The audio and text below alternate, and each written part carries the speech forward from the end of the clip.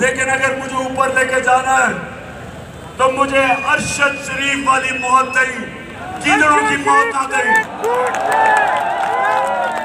میں آج ساری پاکستانی قوم کو کہہ رہا ہوں کہ یہ ہے فیصلہ کن وقت انصاف آپ کو آزاد کرے گا۔ جب تک ظلم کا نظام ہوتا ہے، جانوروں کا معاشرہ ہوتا ہے، جنگل کا قانون ہوتا ہے آپ نے ساروں نے میرے ساتھ نکلنا ہے۔ آپ نے سب نے جب میں وہاں پہنچوں گا اسلام آباد آپ نے سب نے میرے ساتھ اسلام آباد پہنچنا ہے۔ جس میں جس کے پاس موٹر سائیکل ہے سائیکل ہے گاڑی ہے چنچی ہے۔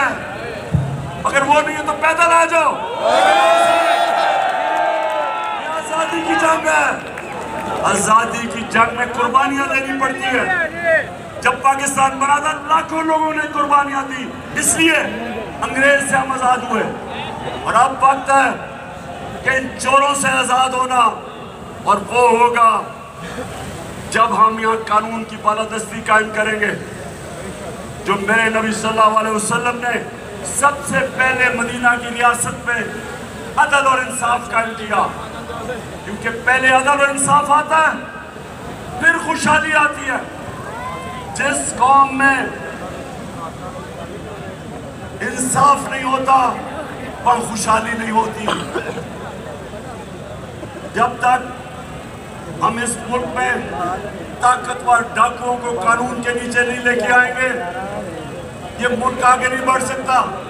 اور یہ ہے، اس کو کہتے ہیں انصاف کی جنگ۔ تو سارے نے اب ہاتھ اٹھا کے میرے ساتھ حلف لینا۔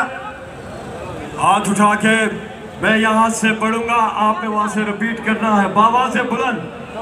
اتنا اونچی آواز میں ہے کہ یہاں آپ حلف لیں گے۔ آواز لندن تک جانی چاہیے، ٹھیک ہے؟